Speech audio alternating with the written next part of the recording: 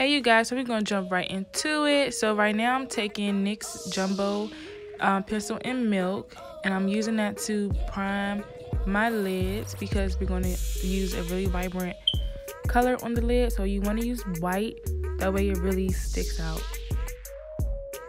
Okay, so after you have that blended out, we're gonna take the Juvia's Place um, palette and we're gonna use the shade Morocco and we're gonna use that as our transition shade. I like to put it in my crease and then blend it out from there. That way it's not so harsh by your um, eyebrow.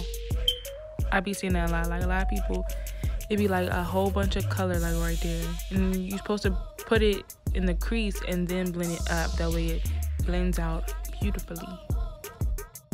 Okay, so next we're taking a round dome brush in the same palette in the shade Kenya and we're going to use that and we're going to put that in our crease. And as you see I actually kind of put the color on my lid. See I'm putting it on my lid and then I'm blending it out. So it's the same technique. So wherever you want your color to be kind of put it a little bit below where you really want it to be. That way you can blend it out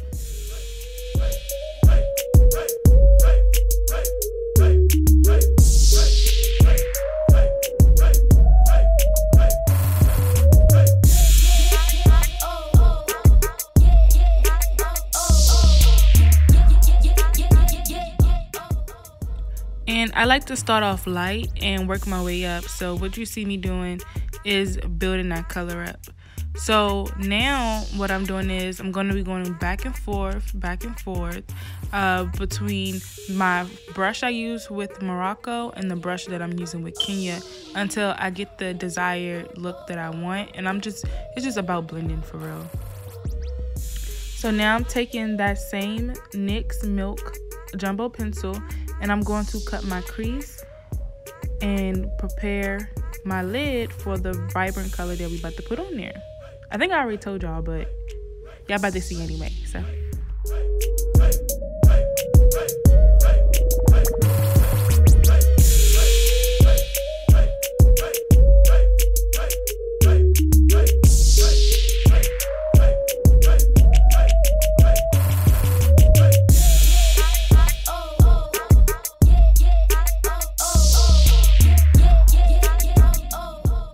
Alright, so now it's time to add that pop of color, which is yellow. So we're taking yellow. Uh, I'm using my Morphe palette. You'll see at the end because um, I was short on time, so I didn't pick up the palette until I was halfway done. But um, I'm using my Morphe 35B palette with that nice, pretty, like, it's like a rich yellow. You guys will see because I will lift up the palette. So then um, you just want to pat that on and build up the color to this, you know, to your liking. Don't just do one one stroke and think it's going going to cut the cut the check. So next, I'm going in with a really pretty vibrant pink. I thought that would be really cute right there, you know, giving pink lemonade teas. You feel me? You feel me? Okay, y'all, so this is the yellow that I use, and that's the pink that I used for my lid. I told you, I, I look, I'm looking, I'm, I'm on time, okay? I'm slow on time. Was it not slow on time? What's the word, y'all? I don't got no time. That's what it is.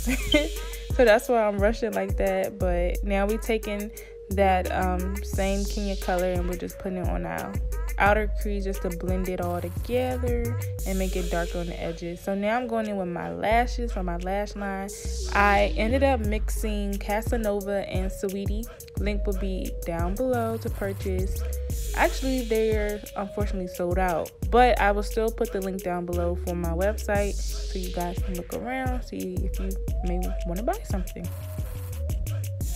And do not forget this step of applying liner on top of the lash line that after you apply your false lashes. This is so important.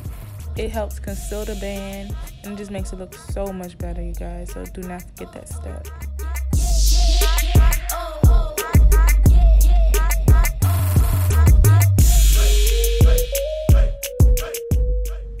Okay, so now I'm just spraying my face with rose water by I'll put his name down below. um, but I'm using the foundation that I'm using is Revlon Color Stay in the shade Caramel, and I mixed it with my L'Oreal True Match in the shade N8, and that just gives me that perfect shade for my skin tone. And I'm going in with my e.l.f. Beauty Blender and just to blend all of that out.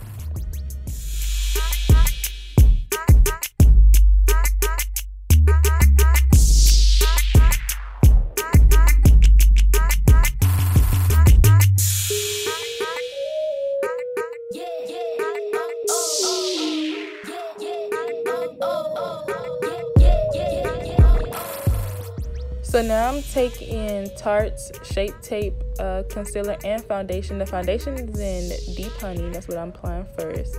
And then the concealer is in uh, Tan Sand. And that's what I apply second. And I'm using that as my concealer. The foundation is a little too orange for me. So I like, so I found this little trick that I like to do for my under eye concealer. So it brightens my eye without like making me look too ghosty. So I like this. So that's what I use it for. I use foundation as my concealer. And it's thick enough too. Like the, the foundation is freaking thick and coverage is crazy. So that's what I use.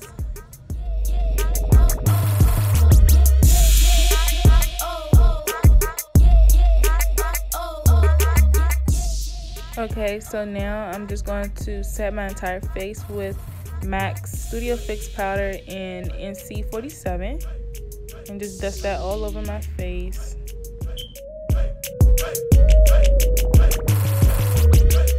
Next, I'm taking my Becca Cosmetics um, highlighter in Champagne Pop. Pop that on my cheeks. And then I'm taking, I'm mixing my chestnut lip liner with my, I don't know what that lip gloss is. I've had that lip gloss for the longest. But I want to say it's Snob. So don't quote me. Uh, and then I'm taking that same pink that I used on my lid and I'm using that on my waterline give me a pop of color underneath my eye.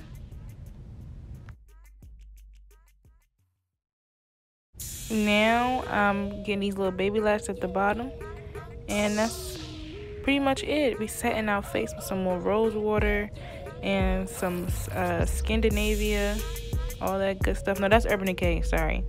And let's get to this hair. Let's take this hair out and get straight to the look, y'all. Yes. Why I just say yes like that? Anywho, this if y'all would like for me to record how I got this look, definitely let me know. It's a natural hairstyle and it's real quick, easy, and it don't take long. So let me know. I might still do it if even if y'all don't say anything.